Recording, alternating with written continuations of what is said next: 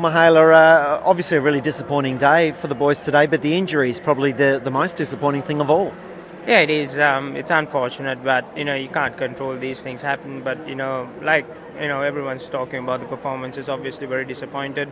Um, started off this um, test match with a lot of confidence, but you know, from from day one, I thought you know we were still in it. You know, in the afternoon, we probably had a couple of opportunities to restrict Australia, but we lost those, and obviously, second and third days were very disappointing. And especially today, the way we went out and you know express ourselves was uh, something that we need to sit down and talk about. Sure. The uh, difficulty though, because Kumar Sangakkara, obviously a, your second string wicket keeper at, at this stage, because uh, you know Prasanna goes out injured, so you know you're on the back foot.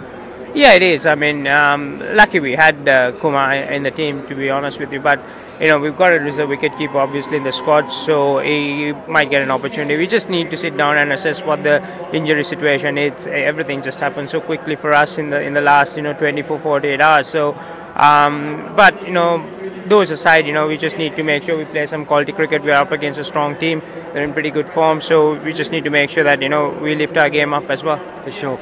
Obviously, a, a day off now tomorrow instead of play, or two more days now to rest up and, and to recover. Some positives to take out of this match. Number one is the the Herath catch. That was a it was a spectacular moment.